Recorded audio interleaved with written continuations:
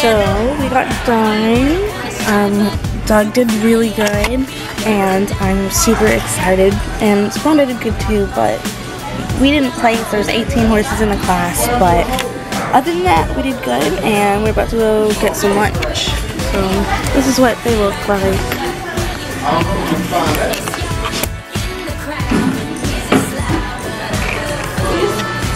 What's up? Thug the thug. He did so good. He was not a thug today. He was not a thug today. I'm so proud of him. And tomorrow is all our Western stuff, showmanship and horsemanship and pleasure. So excited. famous. Nice to meet you. I think you're famous. Where have I seen you? You'll be my